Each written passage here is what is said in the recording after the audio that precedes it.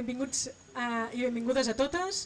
Uh, estem a la, a la segona sessió conjunta després de, de tot el procés participatiu que s'ha desenvolupat uh, sobre el mercat de Sant Antoni.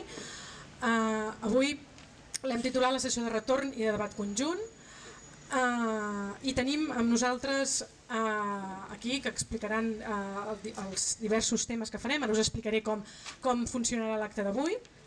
Uh, Primerament, eh, la regidora del districte de l'Eixample, la Montserrat Ballarín, eh, us donarà la benvinguda i farà la presentació.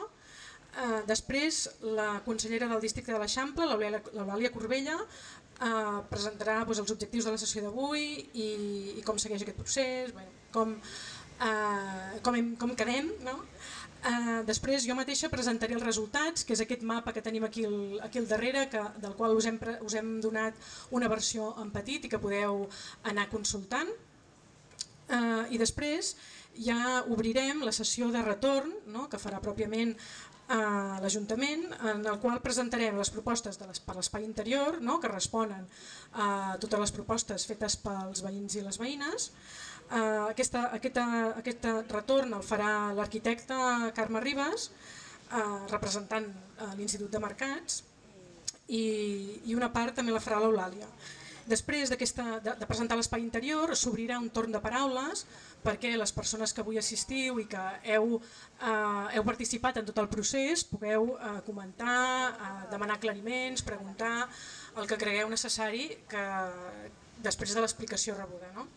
Eh, després eh, es, es presentaran les propostes per l'espai exterior, les propostes que fa l'Ajuntament després de tot el procés, que també el farà eh, la Carme Ribas, eh, juntament amb, amb, el, amb el Francesc Magrinyà, que és el conseller de que és el conseller de perdona, d'Urbanisme i Mobilitat, perdona, perdona Francesc, sempre m'ho deixo.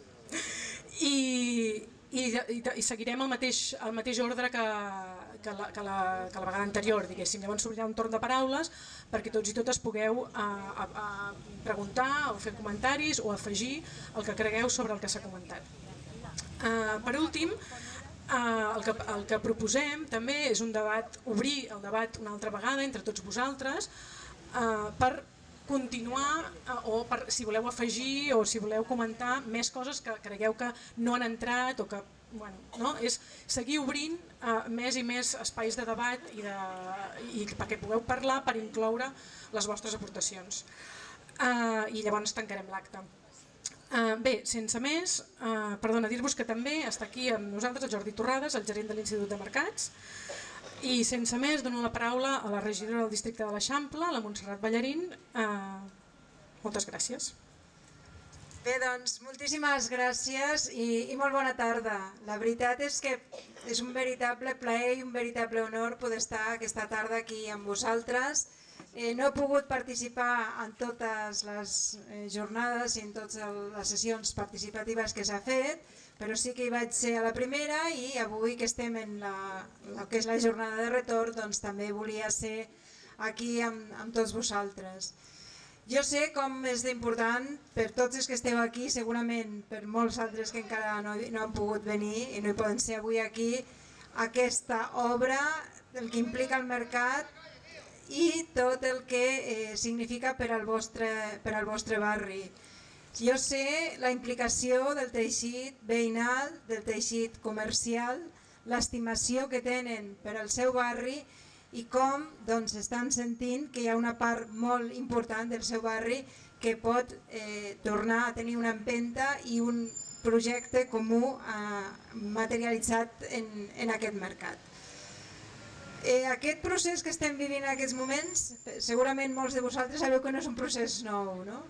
L'any 2003 molts de vosaltres, o alguns de vosaltres, no sé quants, doncs ja estàveu demanant la reforma, sabíeu que aquí era necessari que aquest mercat doncs, es remodelés, com han fet molts mercats de la nostra ciutat, i al mateix temps éreu conscients de les dificultats que aquesta reforma plantejava en termes de, de recursos, en termes de com n'és de, de gran en superfície, de com n'és de complicat intervenir en aquest espai i doncs eh, sabíeu que era una qüestió difícil però doncs això va tirar, va tirar endavant. No?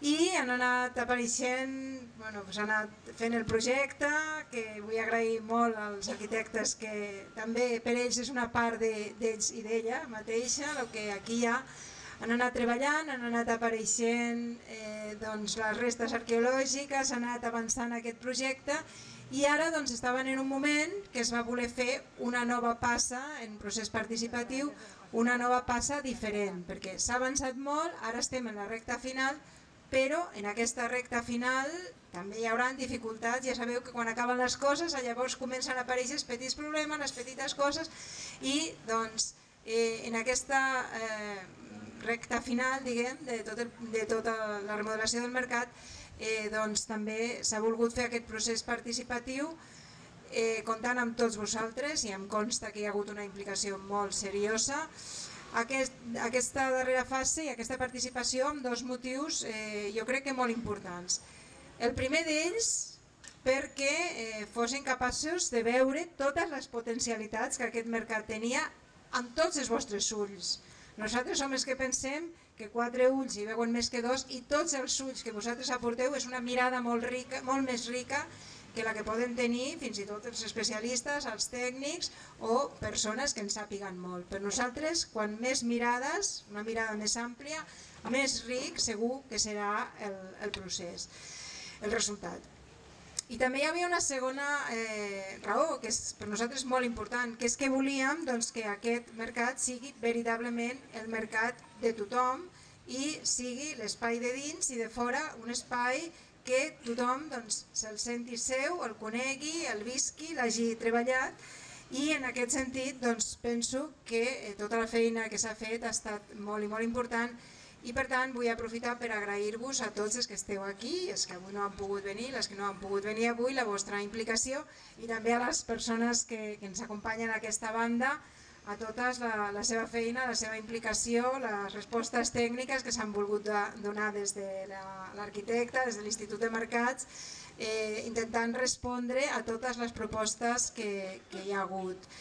I de manera molt especial, que no se m'oblidi, li vull agrair a l'Eulàlia perquè aquest procés l'ha viscut, eh, jo crec que és el seu gran procés, diguéssim, com a, polític ha fet i participatiu i ha viscut molt doncs, també totes les emocions i també tensions, perquè si no hi haguessin algunes tensions doncs no seria una cosa que veritablement ens importés a tots. No?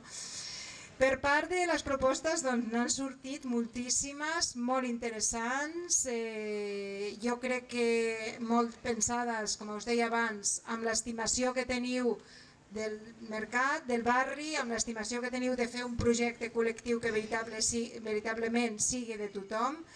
I totes aquestes propostes que s'han fet doncs, eh, des del punt de vista tècnic, algunes, la immensa majoria, la Carme ha fet una feina importantíssima per donar resposta, per veure com efectivament totes aquestes eh, eh, aportacions es poden traduir en, en el projecte, es poden incloure, es poden integrar dins d'aquest projecte i algunes doncs, no, no ha estat possible, però doncs, també això caldrà, caldrà veure-ho i ens explicarà com, com ha anat.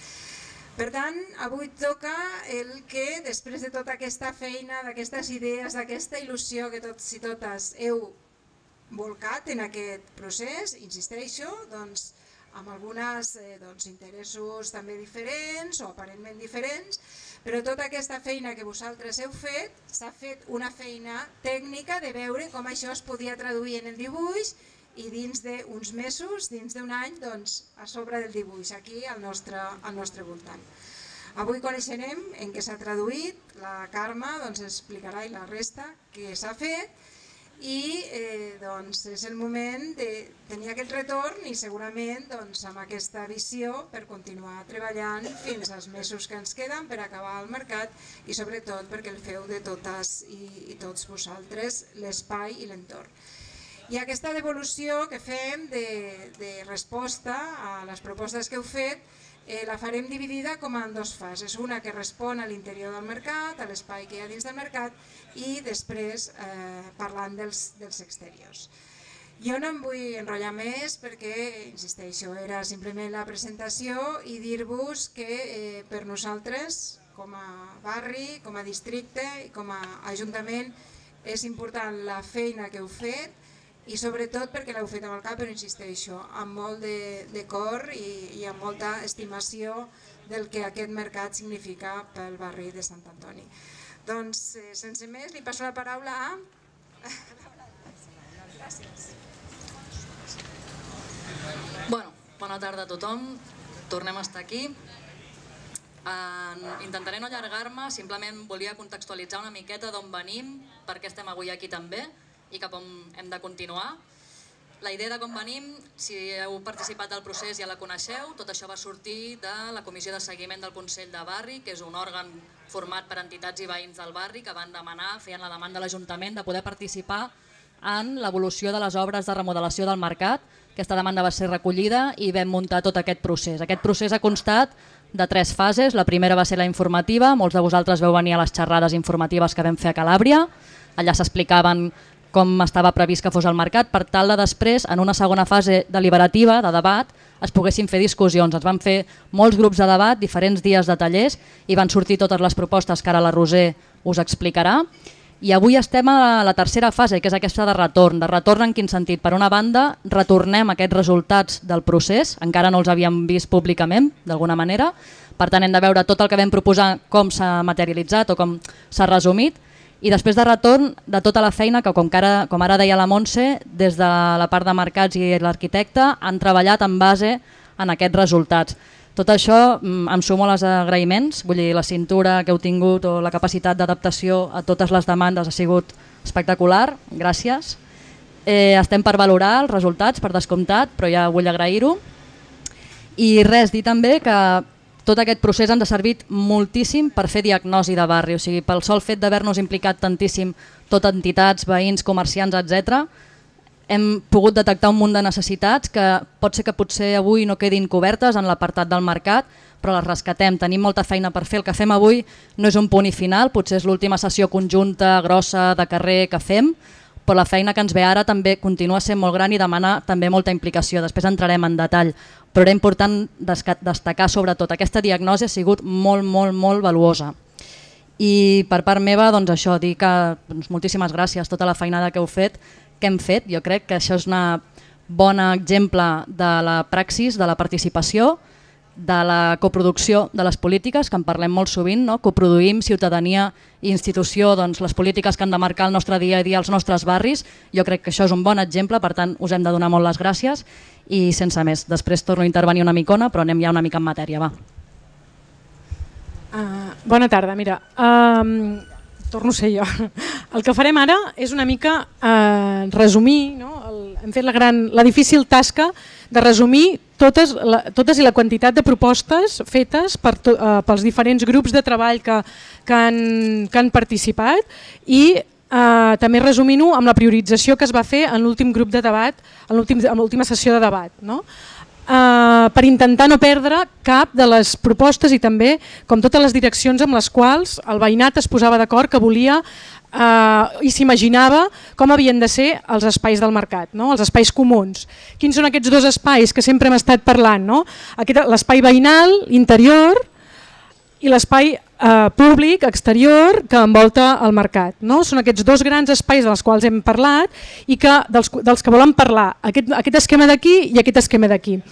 Però no hem volgut eh, no incloure totes aquelles coses que estan fora d'aquest procés o de, explícitament eh, a l'espai veïnal i l'espai exterior o les places i l'entorn del mercat, però que també han sortit, que també són preocupacions i que les hem intentat eh, incloure en aquests dos eh, mapes de baix, no? que no, no, no per això són menys importants, que estan relacionats eh, amb, els dos de, amb els dos de dalt. Si us sembla, començarem per l'espai interior, veïnal, no? el que es va parlar molt són molts usos, no? molts usos que podia tenir, no? que eh, era, un, era un diagnòstic del barri posat a dintre d'un espai veïnal no? i van sorgir moltes demandes, necessitats que es podien traduir, que podien donar resposta, que es, es podrien veure eh, a, a dins d'aquest espai. No? Llavors, els, els importants que van sortir no? podem, podem, es poden veure resumits no?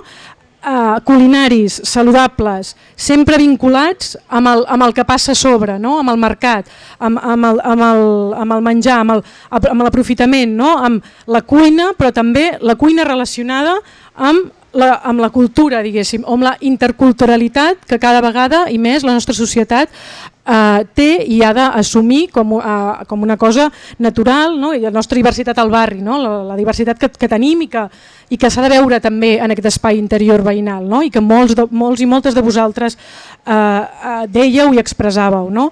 I a la vegada saludables, no? eh, que, que relacionin amb aquests hàbits, amb el benestar i que vinculin aquestes, aquests usos o aquestes activitats que normalment es transformaven i parlàveu que eren més tallers o, o activitats eh, relacionades amb, amb, amb, fer, amb fer aquesta cuina, no? per tant eh, venia la necessitat de traslladar-ho eh, en format cuina, no? que hi hagués una cuina per poder fer aquestes activitats o aquests usos que pensàveu aquí. No? Però també relacionats, i ho parlàveu molt, amb la resta del barri, no? que això formés part de la xarxa del resta, de, de la, dels equipaments públics del barri. No?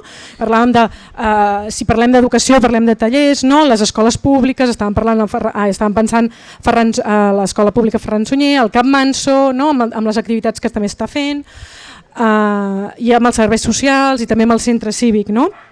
que són altres activitats que després també han sortit eh, relacionades, no? que no tenen tant que veure com amb, amb l'aspecte més eh, del menjar i de, i de com menjar no? i de com mengem, a les, més, també sortien molt les cuines del món, no? Eh, I després, eh, relacionat a eh, altres usos que també sortien són els culturals. No? I, I aquí apareixia molt eh, la, la necessitat o la oportunitat que és l'espai fossar que hi ha davant, que hi ha contigu a l'espai veïnal, no? que en realitat no, era, no, era, mm, no, no entrava dintre el procés però sí que entra perquè eh, és el pati de l'espai veïnal, no? per tant quins usos de l'espai veïnal podien eh, apropiar-se eh, d'aquest espai, espai fossar i va sortir constantment. No? Però sobretot eh, es pensava doncs, en exposicions, en fires, en espectacles que necessitessin d'un espai més ampli i que l'espai fossar ho podrà donar, no? perquè és cobert i, i, i té unes característiques tècniques que ho permetrà. I això ja, ja va estar explicat des del principi, no? com, era aquest, com serà aquest espai fossar.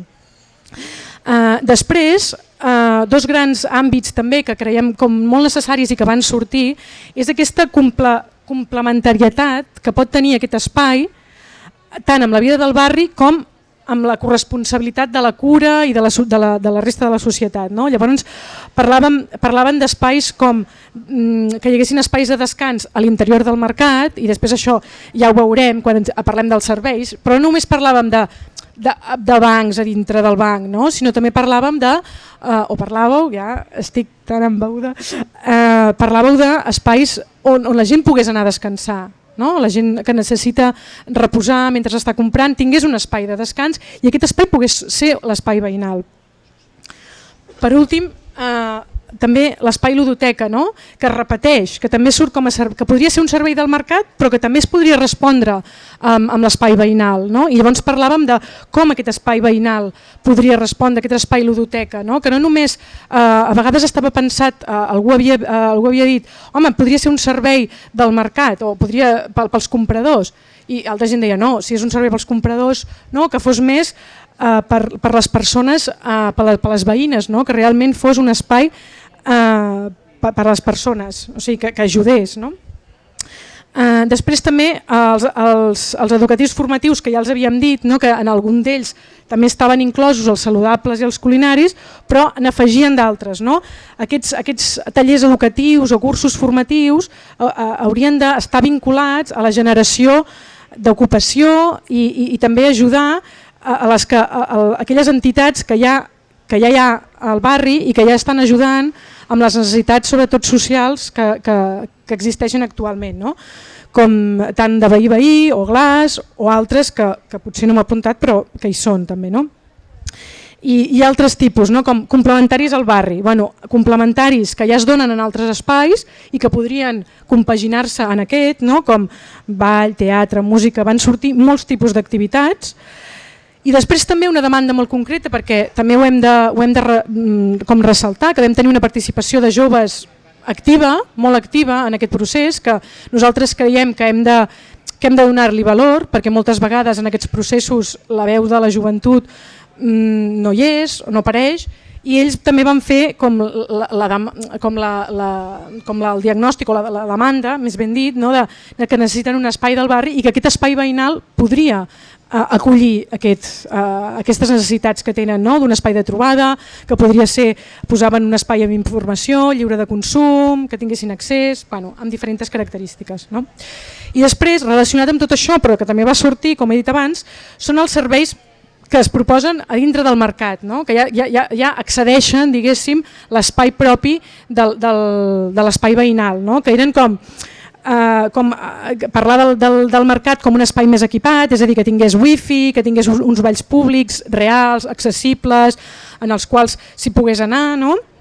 taules i cadires d'ús obert, per exemple, també van sortir aquestes propostes, i, per exemple, també van sortir els espais de cura, no? com l'odoteca o petit, un petit dispensari o espais de, de descans eh, per tot arreu, això que ho dèiem, no? eh, relacionat amb, amb, amb també a, a la gent gran que necessitava espais doncs, per descansar mentre està comprant.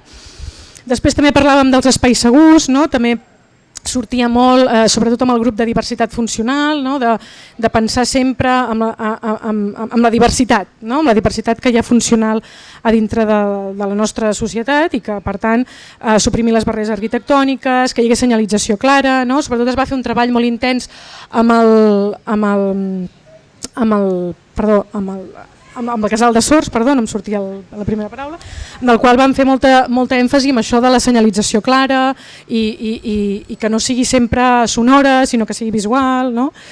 I que també que hi hagués molta neteja i manteniment i després també espais informatius mmm, com del mercat, que hi hagués pantalla o panells indicatius, un butlletí no? setmanal, setmanal o, o que, bueno, que tingués un temps determinat. No?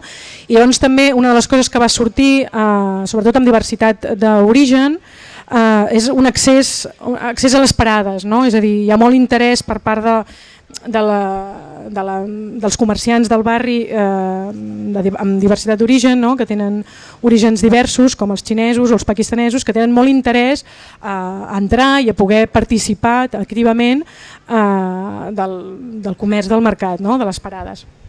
Ara vaig ràpidament, no sé com vaig de temps, no m'estàs controlant, oi? Eh, a l'espai públic exterior, no? és a dir, quin, quins elements van sortir i, i sobretot van sortir com molts criteris no? que, que, que ajuden a, a pensar com, com, com voleu que siguin aquests espais. No? Sobretot eh, hi ha com dos grans, dos grans eh, grups d'elements de, o d'activitats que es volen realitzar en aquests espais exteriors. No? Sobretot hi ha unes activitats més tranquil·les, de, de, que són més de, de trobada i d'interacció amb les persones, no? entre, entre les veïnes i els veïns del barri, de totes les edats intergeneracionals, que això és un tema també, no? quan l'espai públic ha de respondre a diferents edats, eh, com és aquest espai públic i com es manté aquest, aquest equilibri entre, entre les diferents generacions, eh, que sigui de trobada, no? per tant que hi hagin jocs, que hi hagin arbres, que hi hagin aigua, que hi hagi... I, i també una cosa que es va fer molt èmfasi no, són els espais de no consum, no? sense comerç, ni terrasses, ni carrets de gelats, etc. No? Això és una que, que també es va remarcar molt i, i, i, i uh, és això, no? hi ha aquest grup d'activitats com més tranquil·les i després hi havia aquestes activitats com li podríem posar com més actives, no? que tenen que veure com amb activitats culturals i esportives, que sortien de diferents grups també, com que deien com, bueno, però que també que passin exposicions, que hi hagin concerts, que hi puguin haver-hi activitat cultural i que puguin haver-hi, eh, que pugui haver-hi, mm, per exemple, també sortien cinema, eh, cinema a l'aire lliure, xerrades, activitats i espectacles eh, pel barri, no per, la, no per la ciutat, fires també, no? esporàdiques. Eh, per tant, per, perquè sigui així, aquest, aquest espai més actiu ha, ha d'estar equipat d'una manera mm, diferent, segurament que aquest, no? perquè, perquè pugui respondre. Eh, I llavors aquests espais, de manera transversal, no? parlaven d'això, no? que han de contenir verd i el verd sí que és un, és un tema com que tothom estava d'acord, no? que eh, ha d'haver-hi vegetació, ha d'haver-hi que, que, que, que ombra, que estigui relacionat doncs, això, eh, amb aquest espai més tranquil o, o, o amb espais més de seure, d'estar, no? de trobar-se, relaxar-se, llegir, compartir, això tot eren verbs que sortien caminar, moure, jugar, estar-s'hi, transmetre, no? tot això eren verbs que sortien de, de, de, del que volíeu, del que voleu que siguin aquests espais. No? I, i, I sortien propostes, doncs, jardins verticals, esbustos, flors, plantes aromàtiques, no? i fins i tot no, hort urbà, no? i que, que està en aquesta part baixa perquè són aquestes, aquests temes que eh, no van tenir un acord majoritari, però sí van, bueno, van, van ser apostats per certa gent, no? que són l'hort urbà i les marquesines eh, que han d'anar a l'entorn. I el que segur que van sortir, que no estàveu d'acord, que va sortir també, en el, no? que, com que va sortir com molt taxatiu en l'última sessió, són com que no hi hagi un pipicant en, aquestes, en aquests espais, que eren propostes que havien sortit però que entre el veïnat es va decidir doncs, que no hi hagi un pipicant, això van ser com decisions molt, molt clares, que no hi hagin comerços, no? això ho va dir com espais de no consum, Uh, sobretot el carril bici, el doble sentit al carrer Urgell, no? que és molt perillós, tothom va dir que, que, que no, està ben solució, no, no està ben resolt. Uh, esteu en contra de la bucarització del mercat de Sant Antoni no? i que es lluiti contra això i evidentment a l'eliminació de la carpa del carrer Urgell. Per últim, Uh, sí que ho, ho, hem, ho hem posat com un apartat, no? el tema de la mobilitat a l'entorn del mercat, eh? que és un tema com uh, quan es va explicar uh, la proposta de l'Ajuntament per pacificar aquests dos carrers, Tamarit Borrell, on estem avui, eh, doncs moltes d'aquestes eh, aportacions que també sortien no? doncs s han, estan eh, resumides en aquest panell. No? Eh, sobretot el carril bici, que, que augmenti, que estigui, que estigui millor senyalitzat, no? que té relació amb això que explicàvem del de, carril bici doble sentit del carrer Urgell, no? la gent mostrava la, la seva inquietud per si aquell carril bici és així, com seran els altres, no? Uh, que es posi més aparcaments, uh, millorar, doncs això, és, això, és, aquest, és aquest concepte no? de millorar la relació entre la bicicleta i els vianants, Mm, I després eh, també bueno, com equipar, equipar el, els espais de la mobilitat, com per exemple posar punts de recàrrega de moto i de cotxe elèctrics no? per promocionar el seu ús. I després, en quant a, a pacificar, doncs, posar més verd, no? que ve relacionat també el que ja, amb el que ja s'havia parlat de places, també es tornava a dir aquí, no? eh, a, a través d'una plataforma única, però que estigui ben senyalitzada. Eh, i sobretot eh, doncs que el, eh, fer molt, molt èmfasi amb el transport públic, no? o sigui, posar l'ull a com això modifica el transport públic, ja sigui tant en, en, en com es comunica, no? perquè parlaven de temes de com, com s'anuncien els canvis, com s'anuncia eh, el transport, no? que a vegades eh, es fa molt, es, eh, és insuficient o no és, eh, o no és adequat, i també com són les parades i on estan ubicades perquè siguin igual de còmodes com les que tenim, tenim ara. I eh, això, la diversitat funcional al disseny urbà, és a dir, mm, de, de, sí, o sigui, que tot estigui com a, a, en sintonia i que funcioni bé. No? Jo ho deixo aquí, no em vull enrotllar molt, però sí que era necessari com explicar tot el, tot el quadre, que el teniu a la mà igualment, Uh, i, I ara deixo la paraula a l'Eulàlia. Tenim ja bastant clar què han rebut els arquitectes com a demanda del barri. També han sortit coses que estem una mica en desacord entre uns i altres actors del barri i també han sortit coses que potser no tenen plasmació en el mercat. Llavors, per rescatar una miqueta, ubicar i que tots sapiguem cap on anirem, um, parlar d'una cosa, per exemple, tant l'espai veïnal com les possibles activitats que fem a fora, a les placetes i els carrers pacificats, això ha sortit de, per majoria bastant aclaparadora que volem que sigui d'una gestió ciutadana, comunitària, veïnal, amb un suport de l'Ajuntament. Això que ens obre? Ens obre tot un treball a fer. Si hagués sortit que volem una dinamització com un centre cívic, no hi hauria feina a fer, però ha sortit que volem dinamitzar-ho des del barri. Per tant, això ens porta a que en els propers mesos haurem de fer un treball, com que ja no depèn no tenim un timing tan ajustat, això podem anar treballant en els propers mesos com a barri, ja de manera interna, ja no amb un procés macro de tot el mercat, als actors que es vulguin apuntar a parlar d'aquesta gestió ciutadana com la volem. Això per una banda, jo crec que és bastant important. Temes que no hi ha acord, la Roser els ha remarcat, el tema de l'hort urbà no hi havia acord, una part del veïnat deien que el volien a les placetes, altra part del veïnat que no les volien temes que no hi hagi acord com aquest, per exemple, per l'Ajuntament és molt útil que surtin, perquè si no poden anar aquí, l'Ajuntament ja té una consigna de que allò és una necessitat per una part del barri, doncs probablement l'haurien de buscar a on ubicar-la. Llavors, han sortit més d'un d'aquests. Cito l'hort urbà perquè és bastant, que ha sortit a bastants llocs i tots ens deu sonar bastant, però que això ens ho apuntem, evidentment.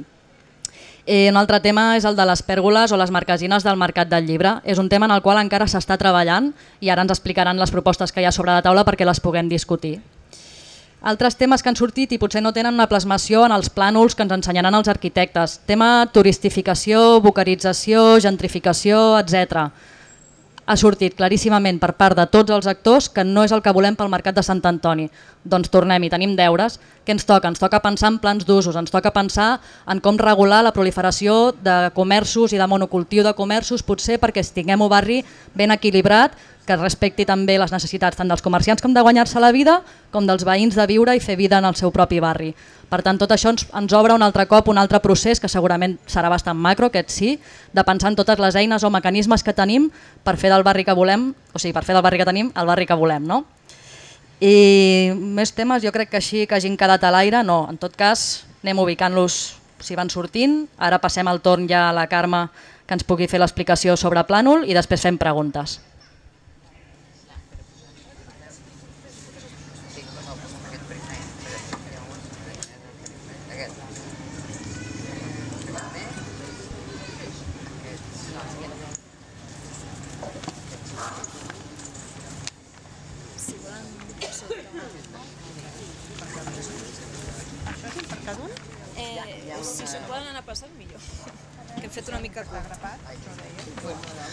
Aviam, bona tarda a tothom.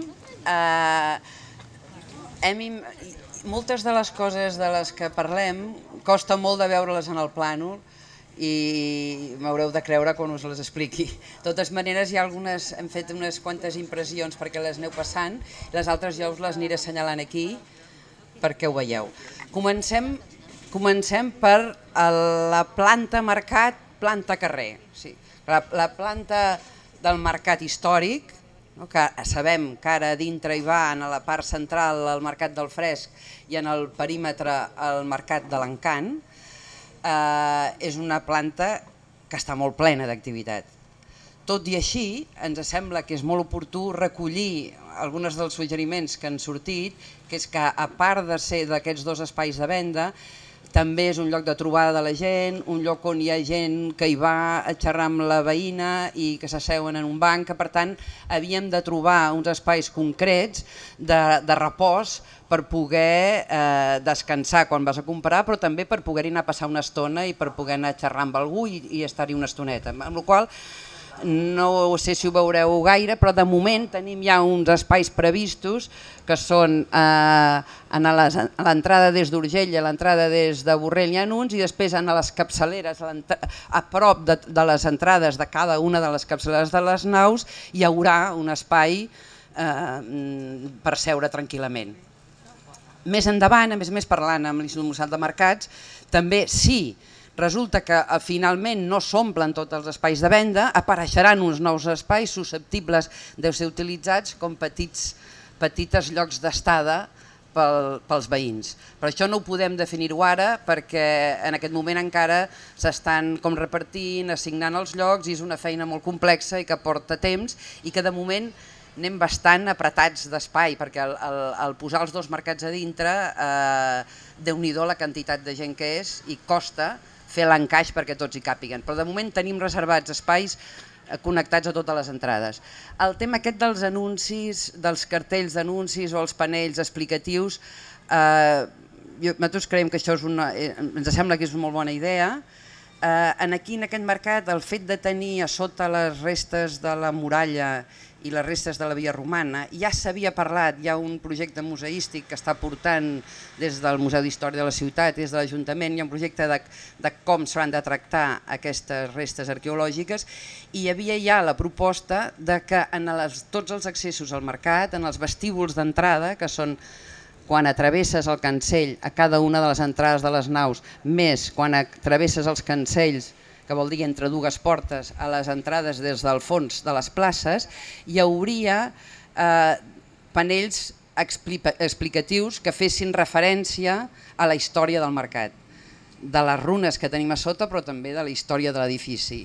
I pensem que està bé combinar les dues coses, que això s'haurà de parlar i concretar-ho, però que aquests són, són uns espais que tenen força mida i que són bons per aturar-te i per una banda tenir una informació més permanent segurament que fa relació amb la història del mercat i una, una informació més activa i canviant, que és aquesta que, a la que vosaltres feu referència de llocs on poder saber quines activitats es fan, eh, què està passant en el barri, què està passant al mercat. Doncs això pas, passaria d'alguna manera en el mateix, en el mateix espai que, que hem de distribuir-ho i que hem de saber exactament què ocupa cada cosa. Eh?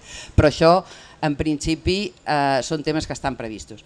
La resta dels, dels espais que s'ha parlat, l'espai aquest de veïnal o de gestió comunitària, eh, aquests espais se'ls ha buscat lloc en la planta menys 1, o sigui en el primer soterrani, i sempre molt vinculats a l'espai del fossat. Aquest espai del fossat que té uns 2.000, quasi 300 metres, o sigui que és un espai molt gran i que és molt capaç d'acollir activitats, moltes de les que aquí demaneu, d'espais, de concerts, de festes, de reunions, de petites d'activitats eh, tipus conferències. Hi ha moltes, moltes d'aquestes activitats que surten en el, en el resum del procés participatiu que tindrien molt bona cabuda en l'espai fossat, que, que és un espai que ha de servir per totes aquestes coses. Aquest espai estarà equipat eh, en els seus extrems amb, amb escomeses elèctriques necessàries, diguem, quadres per poder-hi endollar reproducció de so i aquestes coses, per tant estarà preparat perquè aquestes activitats eventuals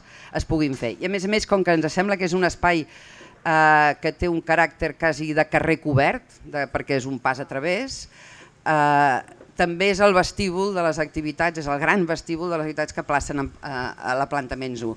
Doncs a la planta menys 1 a banda de, la, de les muralles, des d'aquest fossat s'entren els espais comercials que ja sabíeu, i hi ha dos locals, un és aquest d'aquí, que està darrere d'aquest fragment de la contrascarpa i de l'escalinata que baixa des del carrer Urgell, i un altre està a l'altre extrem de la contrascarpa, és un altre espai que queda entre les runes romanes i la contrascarpa, és aquesta zona grisa d'aquí, o sigui aquests dos grisos són dos locals no comercials, per entendre'ns, un és una, és una sala d'usos múltiples, que no és només veïnal, que sinó també els, els mercats la requereixen, aquest espai, perquè els mercats tenen, necessiten espais per reunir-se, per fer les seves juntes, per discutir les seves coses, per tant és un espai que ja requeria el propi mercat, però que per tant també pot estar obert a molts altres usos perquè l'any té molts dies i per tant eh, pot acollir des de tallers, conferències, activitats de seminaris, etc eh, etc. No?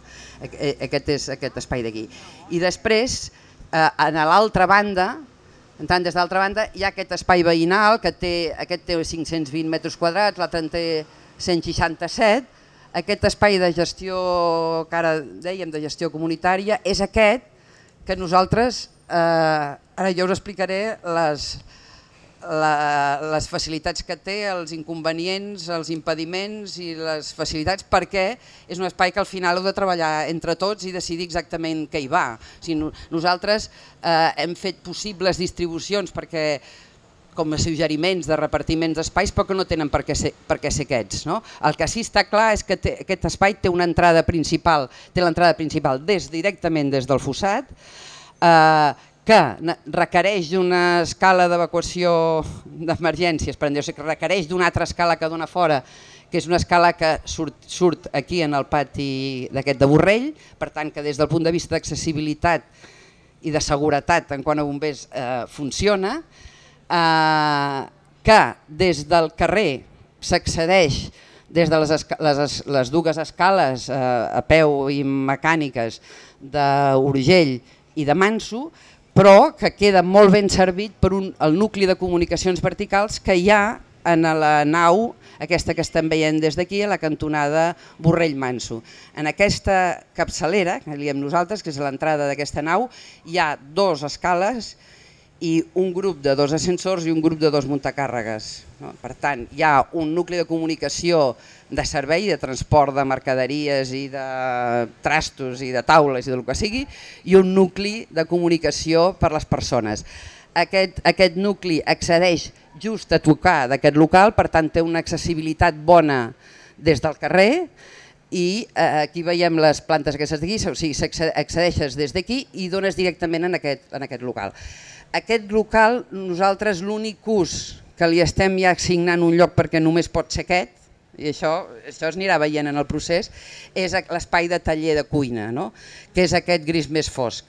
aquest espai taller-cuina ha d'estar aquí sí o sí, perquè ha, ha de comunicar directament amb l'espai fossat per un tema de ventilació i perquè per les extraccions de fums ha d'anar a buscar uns passos de conductes que hi ha a la capçalera. Per tant, aquest és no es pot moure. Pot ser més gran o més petit, i això ho decidireu entre tots. La resta, eh, tot és per pensar, també els nuclis de lavabos han d'estar tocant en aquesta escala que surt aquí perquè és on tenim els baixants, és on hi ha l'espai per ventilació, o sigui hi ha, unes, hi ha uns condicionants tècnics per la posició de la cuina taller i per la posició dels lavabos i la, el de més és lliure.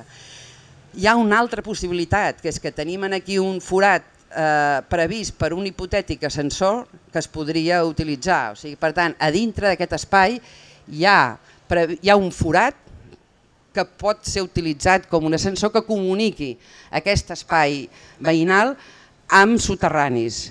Per què ho dic això? Per la necessitat que apareixia dels magatzems. No?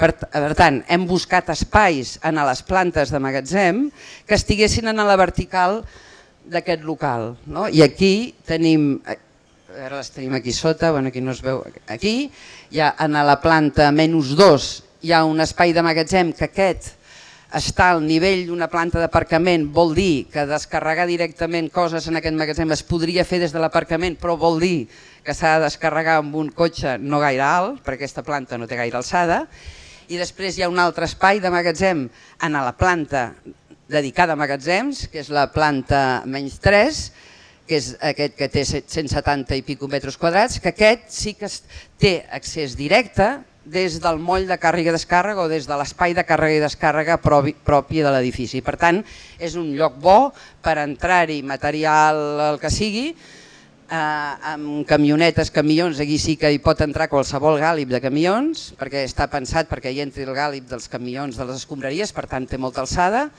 eh, es pot entrar allà, descarregar, hi ha un magatzem que està molt a prop i que aquest magatzem també s'hi accedeix des del nucli aquest que acabem de dir des d'aquest magatzem i, pot, i, que, i té a sobre aquest altre i a sobre aquest local comunicable amb un ascensor o muntacàrregues. I aquest és l'espai que hem destinat en, en la, a l'espai veïnal i jo diria que en quant als interiors, sí, jo ara ja passaria quasi als exteriors, eh? aquests, aquests serien els temes que hem treballat en l'interior de l'edifici. Bé, ara Uh, ara, ara obrim un torn de paraules per si algú té preguntes, comentaris o algun tema que vulgui afegir o preguntar sobre l'interior. Quan veu començar les obres, van venir arquitectes a mirar l'estat de les finques i m'agradaria saber quins són els quins són les, les previsions que hi han de tornar a visitar o si hi ha algun telèfon de contacte, algun lloc on em pugui comunicar perquè jo he vist moviments o les perfectes. Us hem adjuntat amb els papers un full en el qual podeu uh, aportar, si, no, si ara no, ten, no, no voleu parlar o preferiu escriure-ho, on podeu uh, escriure les vostres peticions, posar el vostre mail i el vostre telèfon per, per demanar el, com corresponguin. Si més no, aquestes peticions també seran al final de la sessió, perquè ara estem parlant de l'interior i és per no com... No? Ara ens centrem a la part interior i, i després parlarem d'això. Ens ho apuntem i després ho, ho responem o gràcies. Aquí, aquesta, aquesta senyora aquí també volia intervenir, gràcies. Hola, bona tarda. Uh, jo el que volia preguntar era sobre el, tem, el tema aquest interior. Uh, mm, dues coses. Mm? Sí.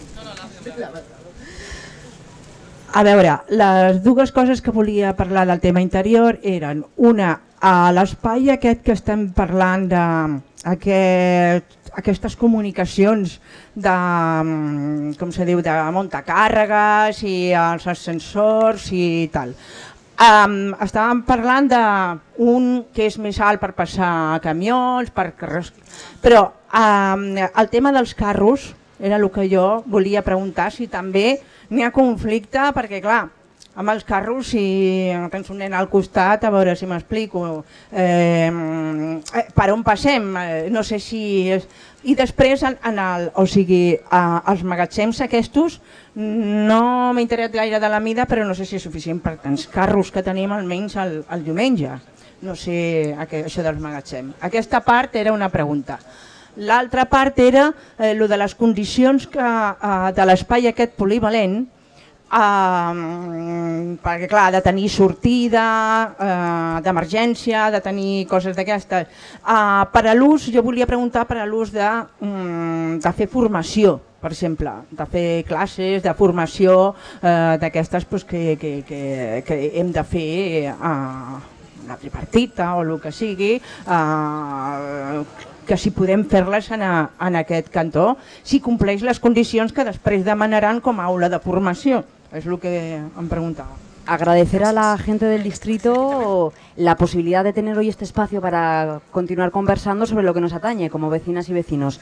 Y en segundo lugar, hago una pregunta muy concisa que puede que incluso eh, no proceda, ¿eh? si no procede, lo, ya está. Eh, con relación a la cuestión que planteabas, Karma, eh, de el, eh, los espacios que va a haber comunes para cuestiones de, digamos, del barrio. Eh, ¿Se abrirá también un proceso eh, participativo para decidir, digamos, cómo utilizar esos espacios, a qué destinarlos y cómo entre los vecinos y las vecinas gestionarlos? Uh, ara responem aquesta tongada de preguntes. Si n'hi ha més, mm, després, hi ha temps o continuarem? Gràcies. Qui vol començar? Justament, la gestió de l'espai veïnal, així com de les activitats que es facin a l'espai fossa o de les activitats que es facin a l'exterior, eh, a l'haver estat la demanda, és el que he explicat abans, a l'haver estat la demanda que sigui una gestió cívica o ciutadana o comunitària o ni diguem ni com vulguem, ens obre un temps de treball intern del barri amb totes les persones i entitats que es vulguin involucrar en la gestió d'això per portar en marxa, haurem de fer el grup motor, etc. Això ja va sortir durant els debats, per definir quin format volem que sigui aquesta gestió i a partir d'aquí muntar programes d'activitats, etc. I a més a més creiem, perquè va sortir molt en el debat també, que ha d'estar bastant interrelacionada amb la resta d'equipaments o llocs que tenim al barri, com Calàbria, on ja s'està fent una part de gestió veïnal, eh, tenim l'espai cultural aquí a Borrell una mica més amunt, vull dir, hi ha tot de llocs que hauríem de teixir una mica una malla per no quedar-nos sueltos. Som un barri petit, aprofitem-ho, no ho dic com a cosa negativa, ens pot servir per estar molt més enxarxats. Gràcies. No, respecte al, al tema dels magatzems, jo, jo quan parlava de magatzems parlava de magatzems propis de la gestió veïnal. Eh? O sigui, la planta està plena de magatzems i destinats precisament a, a tots els mercats, eh? amb una superfície immensa. Llavors, dintre d'aquests magatzems, de, fruit d'aquest procés, s'ha reservat uns espais per magatzems vinculats els locals de gestió veïnal. Per exemple, el veí veí necessita magatzems i el propi, el que pugui sortir de la gestió d'aquest local pot necessitar magatzems que serien aquests. Eh?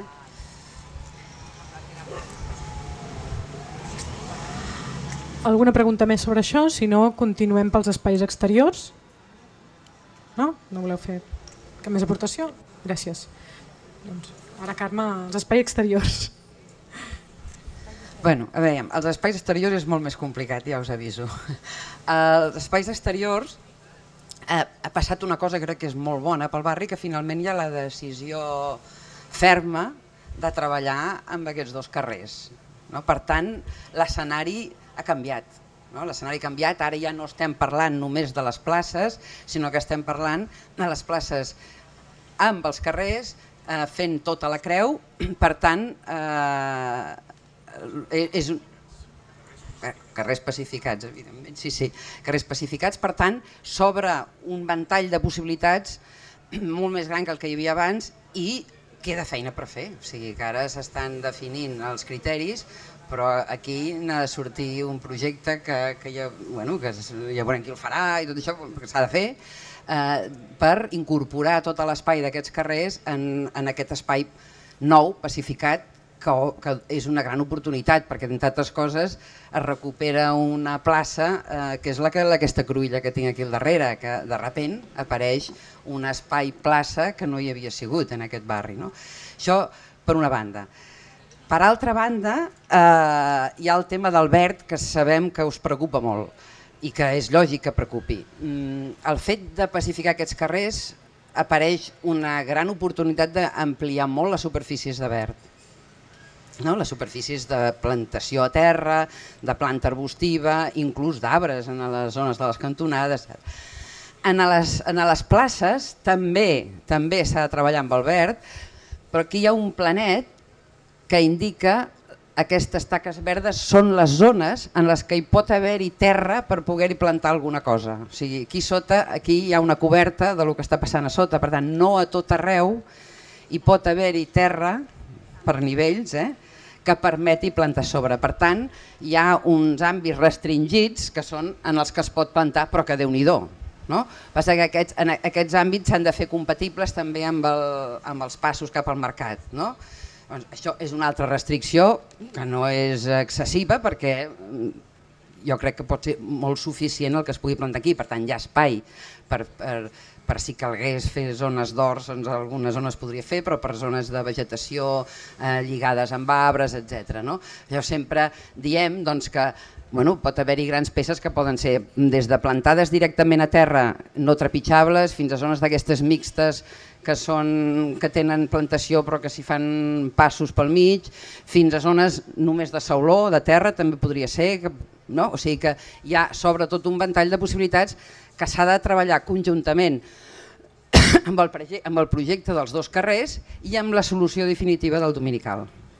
No, I aquí, i aquí ve, el, ve el tema, diguem-ne, que s'ha de, fer compatible la recuperació d'aquest espai públic amb els espais destinats al mercat dels diumenges, que per tant són espais coberts, que vol dir que els altres dies de la setmana són espais d'ombra, no? però, que però que vol dir que el paviment ha de ser un paviment que admeti fer-hi el mercat.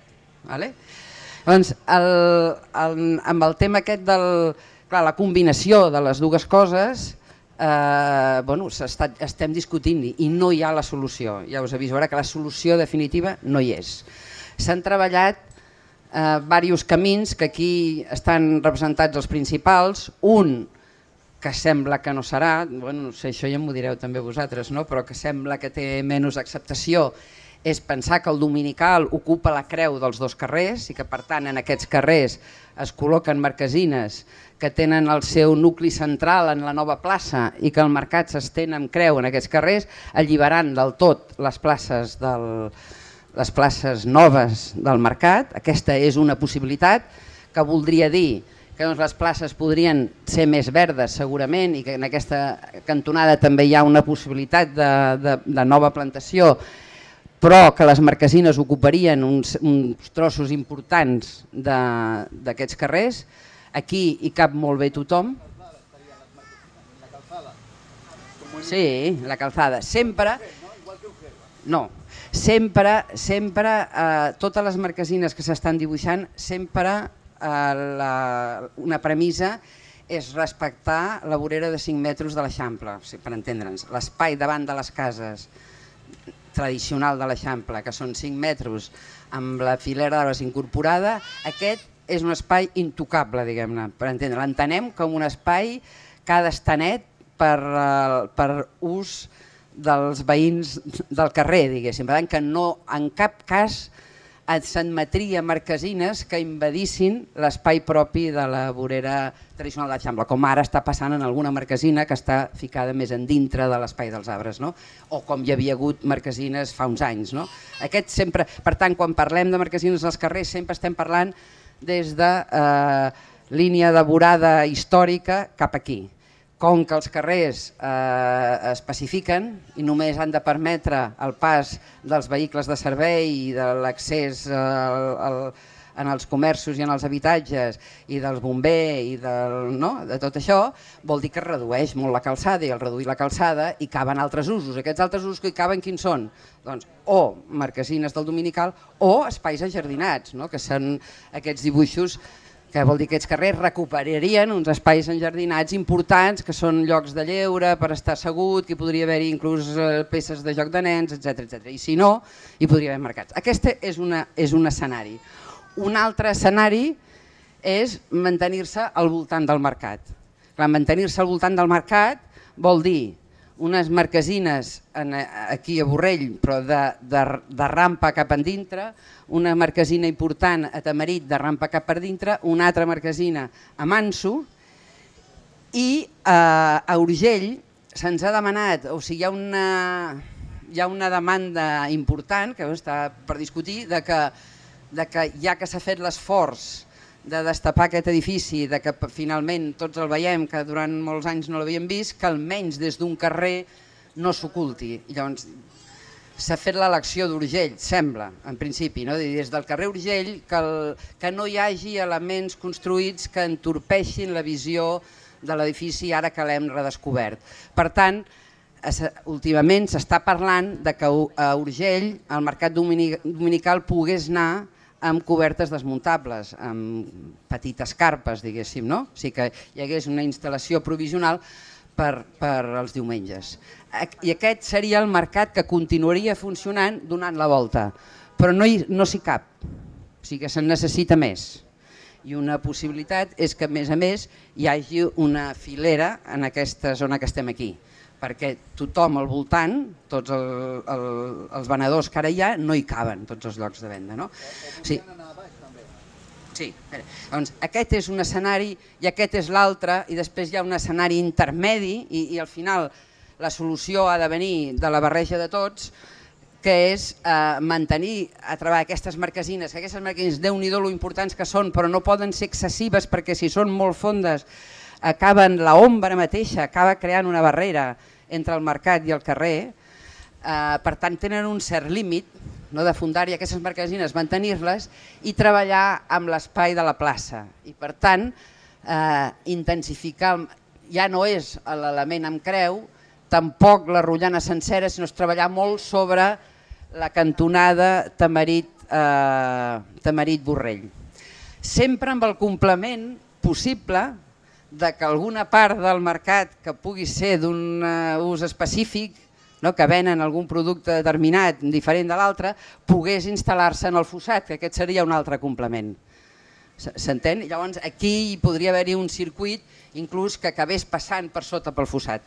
I aquest, aquest és l'escenari en, el que estem, en el que estem ara i la solució definitiva no hi és. I llavors la, la, la urbanització definitiva de la superfície va molt lligada a on hi ha marquesines, per lo que us he explicat abans, i on no n'hi ha, però vaja, tinc el convenciment que totes les demandes que han sortit aquí d'espais, de verds, de, totes les pot acollir, perquè estem parlant d'unes superfícies importants. Eh? Per tant, en el moment en què se sàpiga exactament on van les marquesines, s'inicia el, el, el procés de projectar el reste de l'espai públic, on, on va plantat, on hi ha sauló, on hi ha paviment, etc etc. Vale? Per fer una mica de, de, amb aquesta molt bona explicació, però per, per concentrar una mica les diferències, perquè ens entenguem, en aquesta es posen moltes marquesines, però les places queden lliures. Les places del mercat aquí queden lliures. En aquest altre extrem hi ha l'aposta per fer el circuit, però també des de l'Ajuntament s'ha demanat que quedi lliure el carrer Urgell i llavors la solució és fer, fer la marquesina del diumenge però de treure i posar. Eh, aquest és l'acord. I després hi ha la solució, una, una solució, però vull dir que es pot escollir qualsevol d'elles o alguna variant d'aquestes, que és que el de Manso passa a la plaça.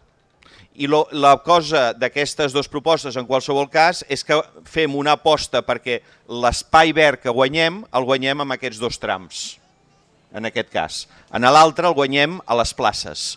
I aquí teniu una, un gràfic on es veu les zones verdes que es podria posar verd dins de les places pel tema de l'estructura. No sé si... si eh?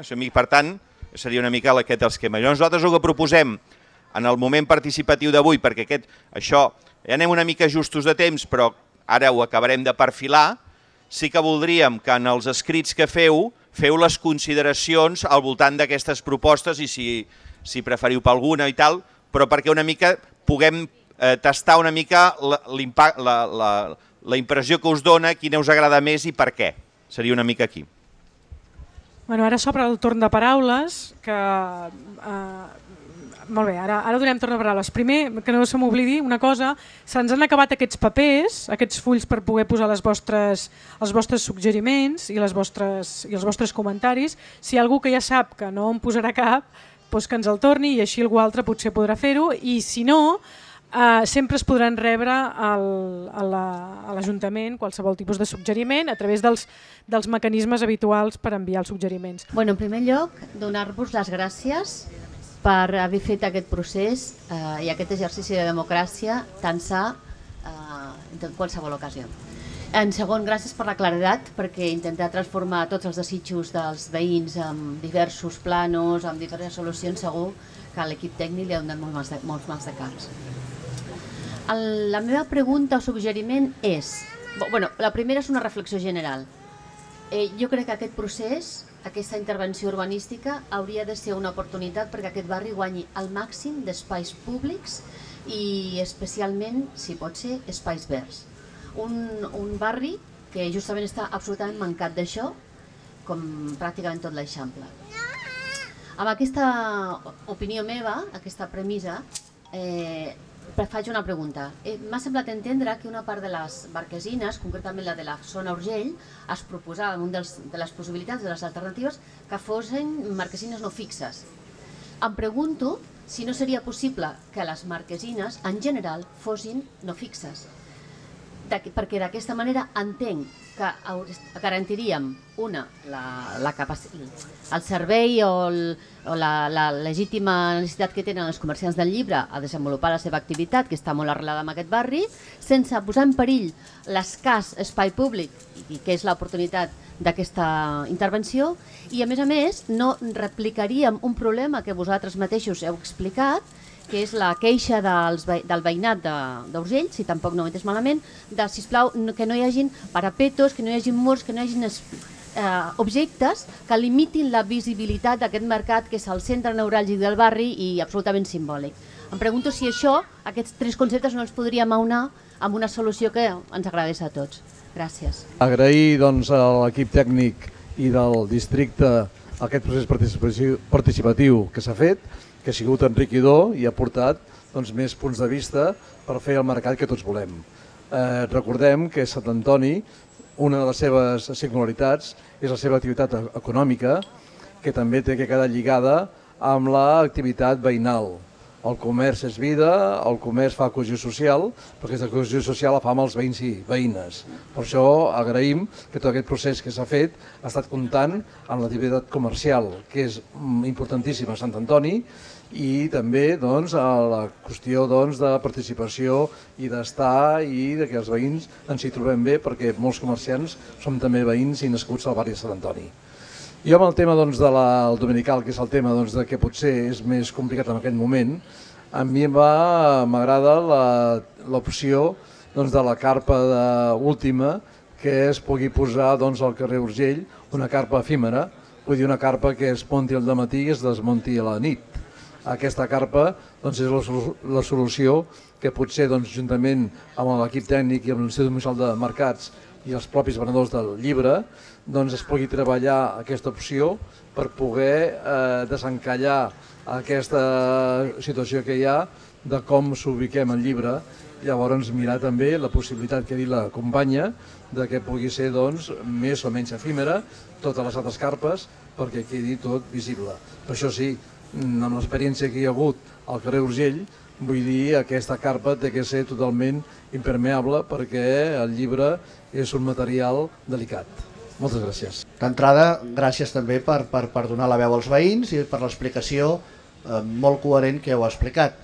Però dins de les explicacions som un grup de veïns que volem més explicacions, en aquest cas pel futur de la carpa permanent, el, la de frescos sabem que va fora. La d'Urgell, del Dominical, ningú ens ha explicat encara si va fora, perquè està molt bé la vida del comerç, eh, l'activitat econòmica, l'activitat històrica que ens deixarà al mercat, però en el carrer Urgell vivim veïns que fa set anys que tenim una carpa i que per tant si continua aquella carpa no veurem el mercat, cosa que l'Ajuntament vol que veiem la façana del carrer Urgell. Nosaltres vol- volem veure el nou mercat, volem veure també el nostre carrer com els comerços que estan al nostre tros. Per tant ens agradaria que algú, i hem vingut a moltes sessions aquestes, ens expliqués d'una forma clara, com hem fet amb totes les propostes, què passa d'una vegada per totes amb la carpa fixa del carrer Urgell. D'acord? Moltes gràcies. Jo també voldria dir, si plau que des del SAC també estem a favor de que es desmonti la carpa un cop ubicat els llibres. Ho sabem, ho sabem, està tot recollit. Hablando de pacificación de calles, acaban de decir que en la calle Urgel vivimos familias enteras. ¿Os habéis planteado pacificar un poco la calle Urgel, ponerle árboles, quitarle carpas y dejarnos dormir? Jo també vull donar les gràcies per aquest procés participatiu, per les persones que el van demanar, per a l'equip tècnic que heu preparat això, que és un resum molt i molt bo i molt entenedor, pels arquitectes que hauran tingut molta feina i per tota la gent que hem estat participant en aquí i que participa. La meva pregunta ja l'han fet, la meva pregunta era, poden ser, o la meva, el prec, el mateix que han fet aquestes dues persones, poden ser totes les marquesines desmuntables, si us plau, perquè els veïns de els altres carrers també puguem disfrutar del mercat. Si s'aconsegueix a Urgell, crec que també es podria aconseguir a totes les altres, en tots els altres carrers. Gràcies. Jo no contestaré a tot perquè la majoria són qüestions més tècniques que, que comentaran els, els professionals i els tècnics que han estat treballant. El que sí que volia deixar clar el tema de, de la carpa d'Urgell, perquè sé que hi ha hagut un determinat moviment més enllà fins i tot d'aquest procés participatiu sobre el futur d'aquesta carpa. Jo crec que el procés participatiu això va sortir, però el sentit comú també diu que això era una solució provisional a l'espera de que el mercat dominical es tornés a reubicar quan estiguessin fetes les obres. Per tant, una solució provisional, encara que en aquest país les provisionals de vegades es converteixen en eternes, en aquest cas no serà això, no serà així. En aquest cas, quan eh, el mercat dominical trobem una solució, que la trobarem segur, estem jo crec en el bon camí, quan aquest eh, mercat dominical haguem trobat la solució i s'hagi reubicat, en aquell moment serà desmantellada aquella carpa com no pot ser d'una altra manera, és a dir, és evident. Per tant, com que s'havia interpel·lat eh, d'una manera clara, doncs que us sapigueu que la regidora, el compromís és, és aquest. Jo li passo la paraula a la, a la resta perquè toqueu els temes ja més, més concrets. Bona tarda, com que hi ha hagut algunes diverses referències al tema del, de si podrien ser desmuntables o no el conjunt de les carpes, és un tema eh, molt complex. Eh, no s'ha treballat mai amb aquesta idea, perquè el mercat, òbviament, antigament, i des de molts anys, sabeu que estava al, al voltant del mercat, amb aquells toldos, amb la marquesina de les voreres, etc etc. Després va anar al provisional d'aquí Ursell, té uns requeriments de necessitats mínimes per no créixer i posar els mateixos comerciants que hi ha de 500 metres lineals de, de parades per 2,20, 2,40 de profunditat, això fa uns 1.200 metres quadrats que hem de cobrir, que hem de cobrir, com deia el Vicenç, amb un material sensible que és el paper, el llibre, etc, que hem de protegir de la pluja, del sol, etc i que per tant necessitem doncs, aquests metres quadrats eh, coberts. Uh, tot es pot estudiar, independentment d'on vagi, la problemàtica que generaria el fet de uh, que totes s'haguessin de muntar o desmuntar és que hauríem de muntar i desmuntar 1.200 metres quadrats i que avui, que en la carpa provisional o antigament ja era fixa, els materials, i aquí veig algun venedor del Dominical, em corregirà, crec que comença a muntar-se o arribar el material a les 2 o les 3 del matí, tenint l'estructura fixa, només el material i després quan es tanca el mercat a la tarda hi ha unes hores també per sortir i crec que aquí obrim el trànsit a les 6 o les 7 de la tarda quan el mercat de fet ja fa unes hores que, que ha tancat. No? Per tant, eh, tot es pot estudiar, pot haver el màxim de, de muntables i desmuntables, però el que és evident és que si haguéssim de fer-les totes desmuntables necessitaríem tantes hores per davant per muntar-ho, o uns equips tan cada diumenge de l'any, no? 52 cops a l'any, no? Que generaria una feina i, i, i un cost, i no sé si a més a més tècnicament podria ser, que ho fa difícil. Tot i així és un requeriment, òbviament, que eh, si carrer Urgell hi ha uns metres que encara no tenim decidits, 30, 40, 50 metres no? eh, lineals eh, que són eh, efímers i que per tant es munten i es desmunten aquestes cobertes el, el diumenge, doncs també podria haver-hi més metres d'aquests no? i per tant minimitzar el tema. No? Per tant estudiar, però comprendreu que és enormement difícil. Jo volia contestar per aquesta demanda del carrer Urgell, que quedi clar que hi ha el Pla de Mobilitat Urbana de 2013-2018 que defineix uns carrers de trànsit principals i després uns altres que a la llarga es poden anar pacificant. Llavors, clar, queda clar que el carrer Urgell és d'aquests carrers de trànsit. Eh? És, un, és un carrer de trànsit i continuarà sent de trànsit. El carrer Manso també ho serà. Eh, i, i, I més amunt doncs ja, ja ens anem cap a, cap a Florida Blanca. Per tant, aquest entorn es podria, es podria anar pacificant. Per això nosaltres optem per aquesta creu.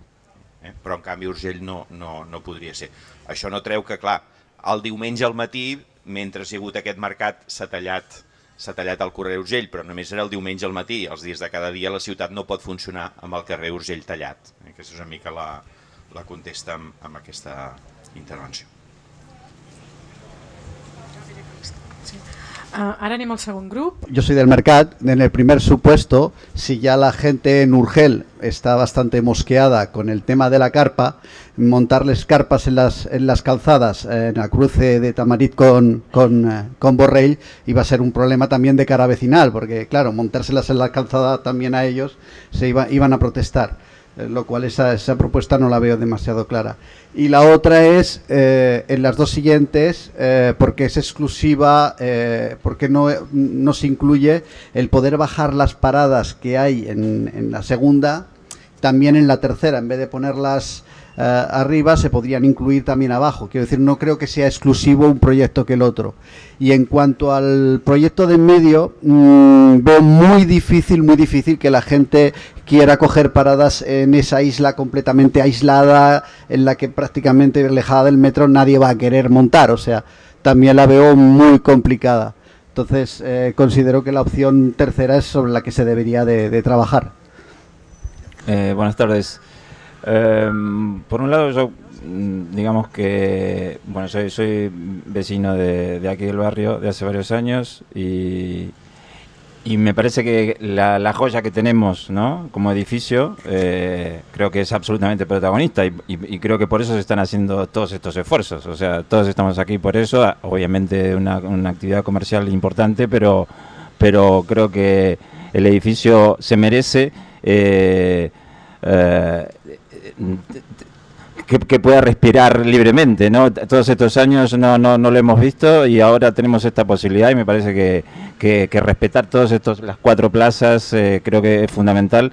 Eh, y, por un lado eso, eh, con, con todo el espacio verde que se pueda y, y- y por otro lado en relación al, al dominical, yo creo que si tenemos en cuenta las horas de actividad al año que este mercado tiene y, eh, y las que no, digamos, o sea, está bastante claro que hay que, hay que, que buscar eh, soluciones flexibles, eh, probablemente por, por, por, la, por la superficie tanto en Urgel como eh, en la, en, la ubicación donde están las carpas ahora actualmente, también podría ser una solución, no sé, no sé esto si, si, si, si se va a sumar, digamos, a la, a la parte urbanística en esta, en esta etapa, pero, pero puede, puede ser una, una solución eh, montar el, el dominical en, en, la diagonal y, en Urgel eh, también por, por, por los, eh, la, la superficie que tiene, eh, con, con estructuras flexibles. Yo creo que, digamos, que, que el- técnicamente seguro que, que tiene que haber soluciones. Gracias. Molt ben explicat totes les facetes que, que ens heu dit avui. Una mica la preocupació personal al veure els mapes és que continuem veient, encara que es digui que la gent vol verd, poc verd i molta marquesina. Sobretot molta marquesina a totes les simulacions, marquesina fixa, que per tant ens treu visió tant del mercat, ens treu visió de l'espai obert, ens treu fins i tot el tema que havíem dit dels corredors verds des de, que podria ser una ronda, la ronda venint per Tamarit i continuant fins a Mistral i per tant poc verd i, i aïllat i molta marquesina. Per tant, estudiar si pot ser el tema marquesines flexibles, retràctils o com. Perquè al cap i a la fi, com veia, bé deia el company, l'ús del carrer és tota la setmana i l'ús del mercat del dominical són unes hores. I per tant busquem la fórmula que afecti el menys possible. Llavors, a nivell de pregunta, era dir com acaba aquest procés, perquè ara tenim opcions, ens heu plantejat opcions, però com se decideixen, qui decideix, com es fa el retorn i per tant com s'aplica totes les demandes o no demandes que s'han fet a nivell veïnal i com acabem si decidint participant o ni que sigui rebent el retorn de la decisió establerta, perquè avui havia de ser el final però avui veiem que encara no és el final no? i per tant com teniu previst que els veïns puguem valorar la proposta si hi ha proposta, eh, ajudar a escollir si hi ha més d'una proposta que se'ns fiqui davant o, o, o almenys escoltar per què s'ha decidit una o l'altra i per tant entendre el, el per què, quin procés hi ha en aquest sentit. I finalment agrair l'obertura d'aquest procés perquè segurament ha sigut una cosa molt gran que s'ha fet aquest barri però també fer la petita part de crítica de dir fet amb una mica més de temps, amb una mica més, entenem, d'esforç comunicatiu i tot plegat, avui som cent i pico, moltes reunions hi ha hagut, però segurament a nivell de barri hauríem pogut centenars. I per tant eh, s'ha perdut potser una oportunitat, però igual s'ha obert un camí i aprenem d'aquest camí perquè més endavant ho puguem fer més gran i millor. Només això, gràcies. Els veïns i comerciants de la Ronda Sant Antoni demanen el mateix que al carrer Urgell, que es treguin la carpa, sobretot, perquè s'ha denegrat bastant el que és la Ronda Sant Antoni. O sigui que quan estigui al mercat amb el seu puesto tots, que per favor no passi com el ninot que encara tenen les valles pel mig, que ho treguin el més aviat perquè tot el barri estigui còmode. Gràcies. Què passa amb el tram de la ronda on fins ara hi ha hagut el mercat provisional eh, a nivell de trànsit? És a dir, si porta tants anys tancat i Barcelona funciona bé, digo jo que pot seguir com a peatonal, no? Llavors volia saber si això s'ha plantejat i si no s'ha plantejat que es plantegi. Ja està, merci. Si podria ser que a la ronda Sant Antoni, entre Manso i Tamarit, pogués haver el dominical, si s'ha estudiat això. Es va fer un procés participatiu i es va fer una sessió en la que es plantejava mantenir la marquesina al carrer Urgell o fer una nova marquesina al carrer Sant Antoni o fer la marquesina al voltant del mercat. D'aquestes tres opcions ja es va prendre en el seu moment la decisió de fer-ho al voltant del mercat. Per tant, per aquesta gent que planteja, amb tota la raó, per, per una mica per, per dubtes, queda clar, com ha dit abans la regidora, que en el cas del mercat del carrer Urgell, quan s'hagi trobat la solució que es trobarà al voltant del mercat de Sant Antoni, desapareix la marquesina del, del, del, associada al llibre, del Mercat de Llibre i evidentment amb la inauguració del Mercat d'Alimentació i de la roba les marquesines de la Ronda Sant Antoni eh, desapareixen perquè s'haurà inaugurat, vull dir, s'haurà tornat una altra vegada a l'espai, per allò és una solució provisional i tornem al, al, a l'edifici del mercat. L'altra cosa que també m'agradaria insistir és aquestes marquesines no tenen res a veure amb les, del, amb les de la, del, ni del carrer Urgell ni del carrer Sant Antoni. És a dir, aquí no hi ha murs, només hi ha uns sostres. Eh? És a dir, hi ha uns pals i uns sostres.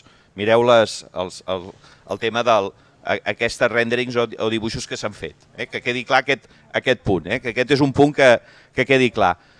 Aquí hi ha la reflexió sobre el verd. Eh? Aquest és un tema que, que, que el recollim i és una de les preocupacions. En aquest sentit també es podria optar perquè la definició d'aquesta marquesina i la quantitat de verd que podria incloure també podria ser, o el seu caràcter efímer, i aquesta és una, una reflexió. Eh? Llavors, jo pel que entenc, eh, és a dir, pel que nosaltres entenem, és que hem fet un pas en el sentit de que eh, especifica aquest tram d'aquí i el tram següent, aquest tram de Tamarit i el tram següent. Eh? Per tant, aquesta és la pacificació, va associada en aquest projecte i això ens permet reubicar eh, les, les marquesines associades al Mercat del Llibre. I en aquest procés estem i estem amb aquestes tres solucions. Nosaltres valorarem molt avui que vosaltres amb els vostres papers feu els comentaris i evident aquest procés es tancarà fins a l'últim dia que hem de prendre la decisió, perquè hi ha un dia que hem de contractar aquesta decisió. Llavors, que quedi a nosaltres, a nivell administratiu, a l'Ajuntament de Barcelona, Ecologia Urbana, encarregarà un concurs pel disseny d'aquesta creu. Val? I serà en aquell moment que haurem posat els criteris. Fins aquell dia tenim temps d'anar parlant. Eh? I això és el que, el que nosaltres eh, estem treballant. Però en principi estem. I evidentment hem de donar resposta el més aviat possible a a la gent del Mercat de Llibre perquè s'ho mereixen i ho necessiten. Eh? I per tant, hem, i, i va lligat a aquests dos temes. d'acord?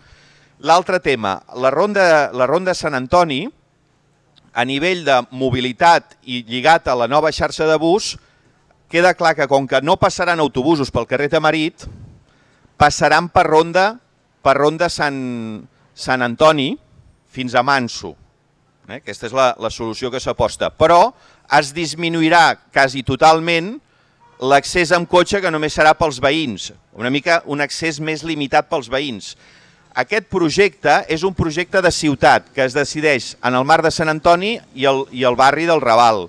També en el seu moment es farà un altre procés d'informació i participació per acabar de definir la secció de Ronda Sant Antoni, però sabent que hi passaran autobusos perquè a més a més ho han reclamat tot el veïnat, sobretot a la Cruïlla, entre Ronda Sant Antoni, Urgell i Manso, en aquell punt tothom reclama la parada i per tant aquesta és una necessitat i segona, bueno, acabar de definir la secció.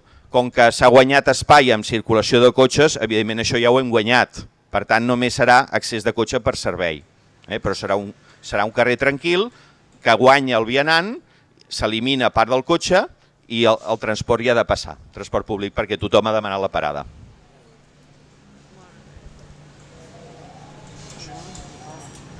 Només un, un, un petit apunt pel tema de les marquesines. Dèieu, els dibuixos aquests surten moltes marquesines.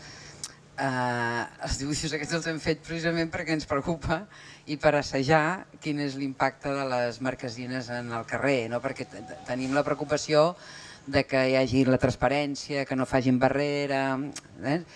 i ens sembla que es podria aconseguir, perquè la marquesina del carrer Urgell és una marquesina molt alta, perquè de, com que hi han de passar els autobusos i tot persona necessita un gàlib molt gran i la fa molt feixuga, però si no hi han de passar cotxes per sota, pot ser unes marquesines més baixes, molt més lleugeres, haurien de ser molt finetes. O sigui, la, les marquesines que hi havia aquí també històriques del mercat eren unes marquesines de formigó molt pesades i, clar, bueno, que la, la, la, la idea és que han d'acabar sent el que sigui, però de ser, han de ser elements que funcionin però que siguin molt lleugers i que mantinguin la transparència dels espais. No?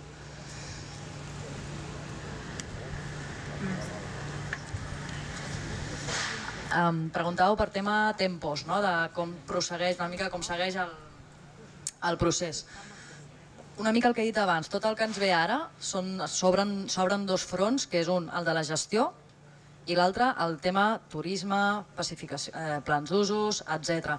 Tot això ve, o sigui, primer havíem d'acabar el macroprocés i ara ens venen diferents processos. Hi ha altres processos petits, o sigui, això a nivell de comissió de seguiment del Consell de Barri, dels quals moltes entitats ja en formen part, ho anirem treballant i anirem fent el calendari. Vale?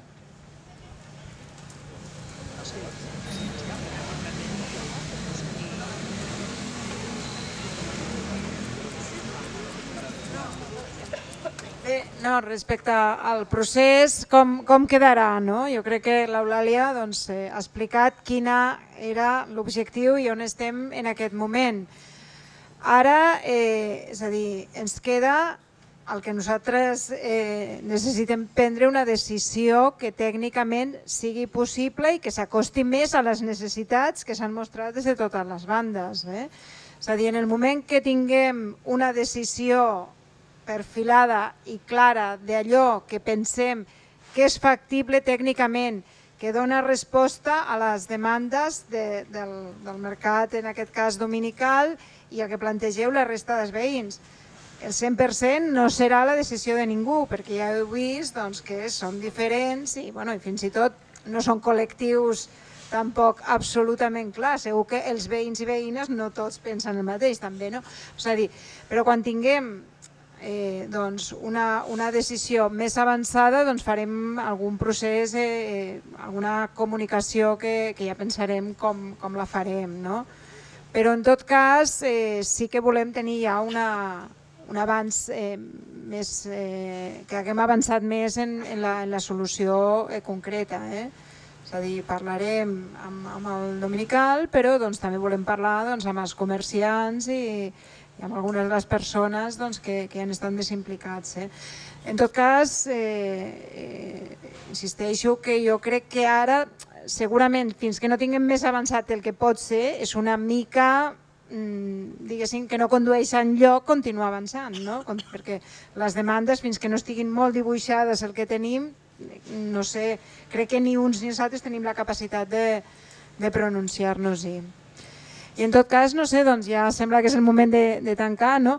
Jo, eh, bueno, no, simplement doncs dic... Ara hi ha, més torns de paraula o no? Que teníem... Bueno, doncs ja tancaré després, si és cas. No, només volia acabar de, si hi ha algú que encara s'hagi quedat com amb la pregunta, perquè he dit que faríem una altra tercera ronda, llavors eh, per això volia dir. Volia, potser segurament ja s'ha dit, no? però reconec que era tard, eh, volia dir que, mm, que per, per una gran part del veïnat que hem participat en processos participatius que s'han anat fent, quan vam fer la Som Paral·lel, quan vam fer la festa de cada 66 a, a fora, etc etc. Uh, la idea d'això, de l'espai verd i respectar aquests corredors verds que entenc en, en visió de futur, diguem-ne, vull dir que és, que és una cosa, inclús pensant en Barcelona, no ja pensant només en el barri, sinó que s'hi especifica pues, el carrer Borrell, uh, no? es fa tot aquest corredor verd, és molt important que els, els espais diàfans que seran diguem d'ús veïnal, que seran d'ús convivencial, on han d'haver jardins, places, etc, uh, no tinguin estructures fixes o tinguin les mínimes o tinguin les, o, o les que tinguin es puguin, o sigui, es puguin siguin una mica o sigui, retràctils o siguin d'alguna manera, com crec que ja s'ha dit, però vull, vull insistir en aquest tema perquè, perquè entenc que hi ha una activitat comercial que s'ha d'encabir, però és molt important que, que, que els veïns estem aquí tots els dies de la setmana i hi ha activitats que es fan un, dos o tres o quatre dies. Aleshores, que tingueu en compte de quan busqueu la solució tècnica que eh, intenteu que eh, el mínim espai públic, diguem-ne, que és públic, que no és privat, no, no, no sigui d'ús comercial, diguem-ne, que es miri d'encabir o, o amb fórmules diguem-ne més provisionals o més... Ja, entenc que és més feina per qui ho monta, però també s'ha d'entendre que, esta, que, que, que els veïns diguem-ne tenim dret a tenir espais diàfans i convivencials, etc. No?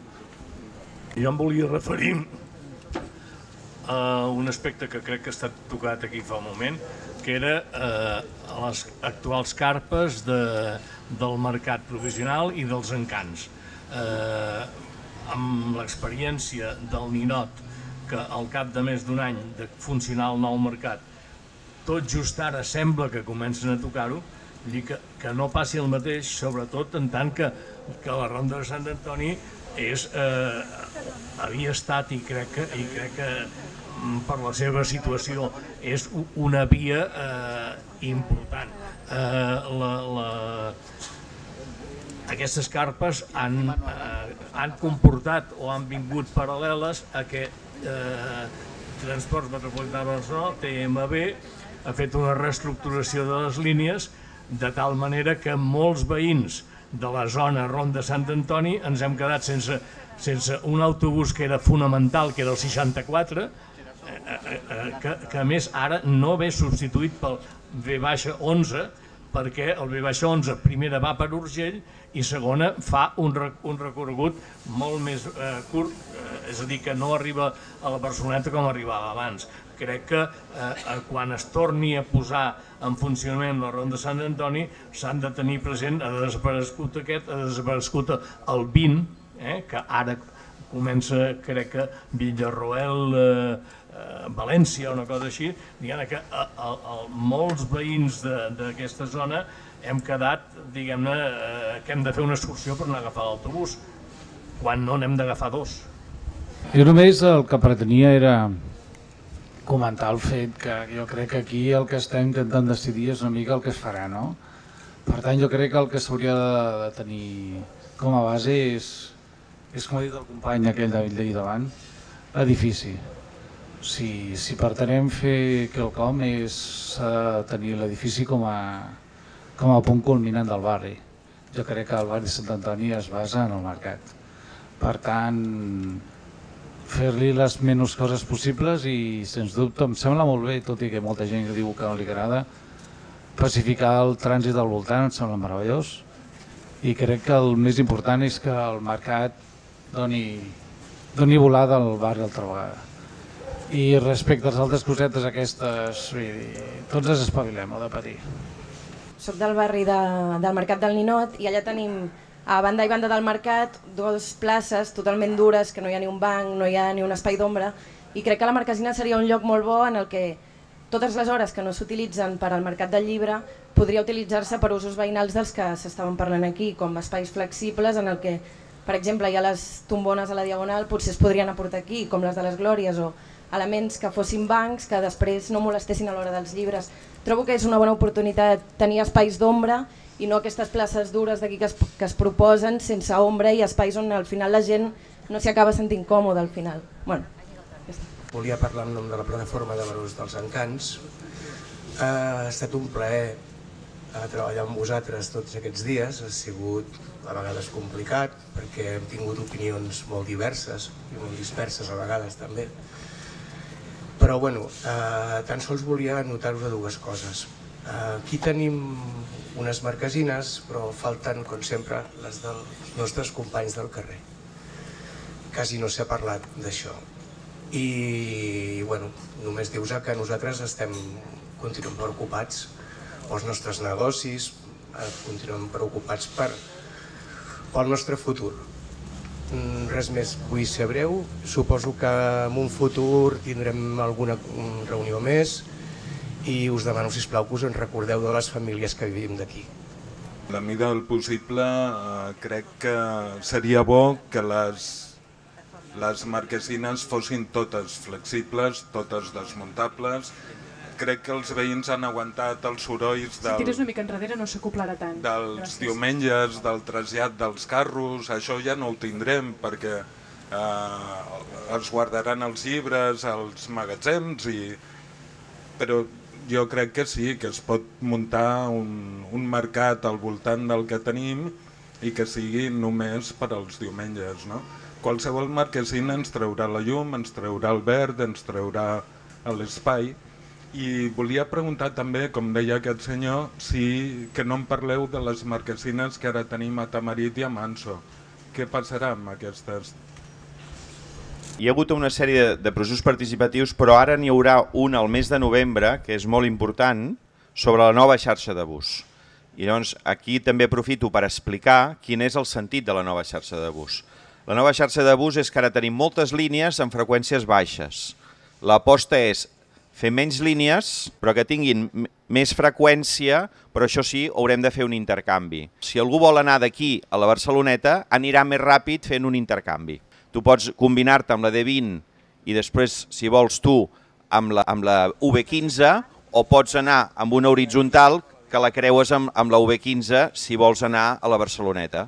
I aquesta és l'aposta que s'ha fet de ciutat perquè així guanyarem l'accessibilitat per la majoria de la gent, sobretot per la gent de la perifèria i perquè si volem de veritat disminuir el nombre de cotxes en aquesta ciutat hem de fer un transport ràpid i clar que pugui anar de qualsevol lloc a qualsevol lloc i que faci que no hàgim d'agafar el cotxe. I això només ho farem amb freqüències molt més elevades, això sí, que al final el, el temps de trajecte serà menor, però havent fet un intercanvi. Aquesta és l'aposta que va associada a la nova xarxa de bus i llavors no, no farem recorreguts com el del 37, que baixa pel paral·lel per després tornar a pujar, o que, que podia estar bé, o el 20, que fa una curva, i, és a dir, fa una, una, fa una escaire, no? puja per Urgell i després gira per València.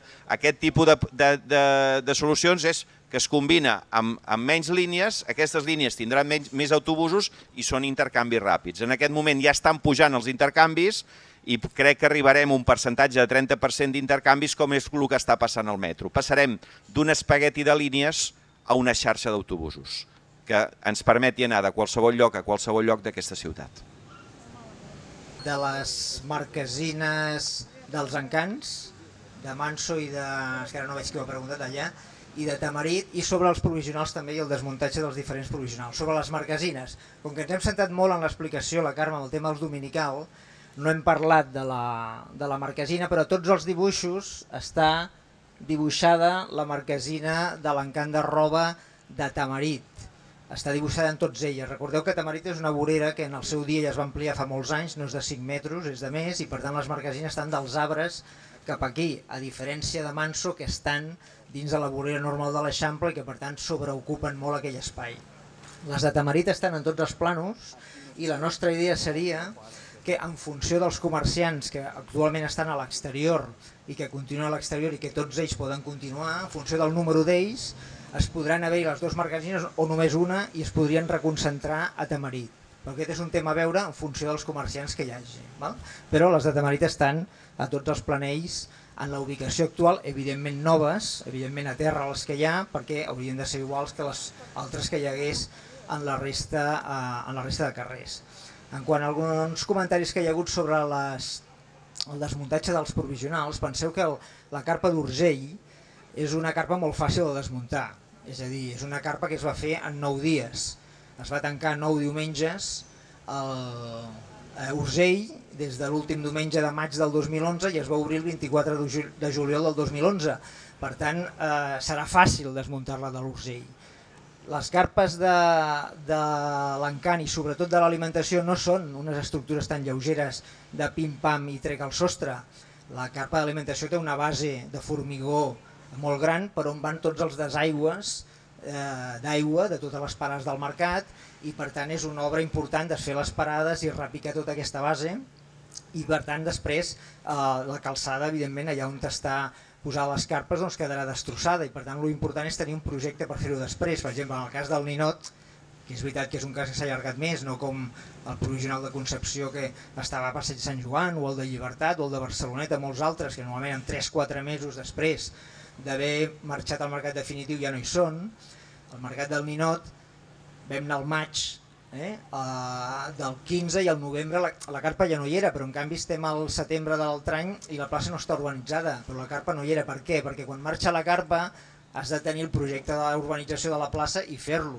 I aquell estava per fer i discutir com seria la plaça i fer el projecte, licitar-lo, encarregar-lo i fer-lo. Per tant, jo penso que al desembre la plaça d'Urania Reinals estarà acabada, però l'important seria saber què passa després un cop has tret la carpa, perquè si llavors t'atures i hem de fer projectes urbanístics o coses i coses, doncs és quan es pot allargar el tema. Però una carpa normal de mercat, 3-4 mesos després d'haver fet el retorn al definitiu, és lo lògic que estigui desmuntada i la d'Urgell molt més fàcilment.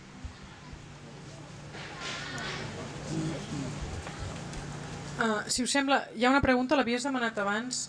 Bueno, pregunta. què fem? No. Molt ràpid, és que hem de tancar. Aquesta pèrgola que queda de botigues de roba fora, com és que no s'ha pogut incloure a dins? El tema de les, de les maratons i les curses, de, que vam comentar que ens afectava moltíssim els diumenges almenys, uh, i que paraven pues, bueno, i disminueix, uh, o sigui, que, ens, mm, que anava molt malament per tot tipus de persones, eh, tant els comerciants perquè fan menys perquè tanquen, tant com les persones que no poden accedir i altres negocis que no tenen res a veure amb nosaltres, com per exemple els taxistes que estan tots negres aquests dies, eh, si s'ha pogut avançar alguna cosa amb això. L'espai mai eh, va permetre pensar que podria ser possible que aquests venedors entressin a dins i això ho sabem des del primer dia. És més, en el temps, no? han passant els anys i hem anat solucionant el tema de les 150 botigues de, que tindrem a dins de, de l'espai del mercat cobert que hi puguin capre, però això no era pas tan evident eh, un temps enrere i per tant eh, sí que és veritat que hi haurà menys comerciants, que es podran minimitzar, que millor eh, ocupem menys espai que el que hi ha ara, però que n'hi ha d'haver de comerciants a fora ho sabem des de, des de sempre.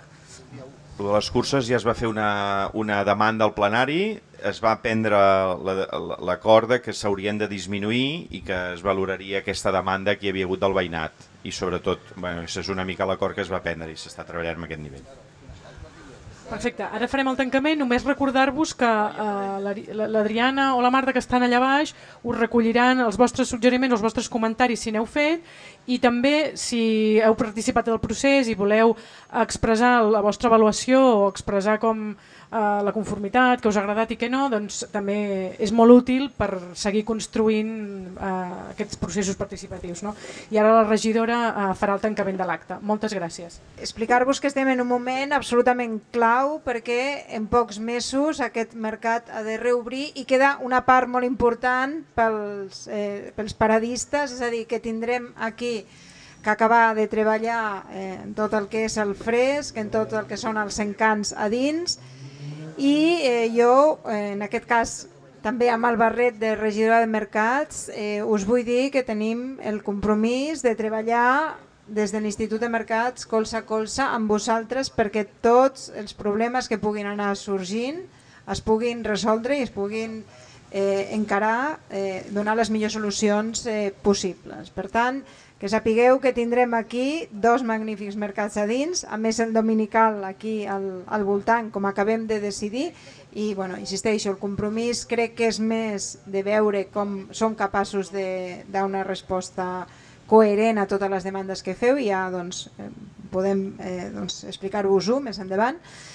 I eh, també doncs, recordar que tindrem un espai cultural, que tindrem una joia que ha de ser el veritable cor del barri de Sant Antoni i sobretot doncs, que aquests eh, dos carrers de, de l'entorn també seran doncs, un guany que el barri tindrà en aquests moments. Eh, insisteixo que hi ha molta feina feta, molta feina per fer i el que sí que us demano és doncs, que continuem tots amb una actitud constructiva, que tindreu la mà tant de, des del districte com a des de l'Institut de, de Mercats per continuar treballant plegats perquè sabem doncs, que paradistes, comerciants i veïns i veïnes creieu en el, en el vostre barri i sabeu tot el que eh, implica tota la força i tota l'oportunitat que aquest mercat significa per tots vosaltres. Moltíssimes gràcies.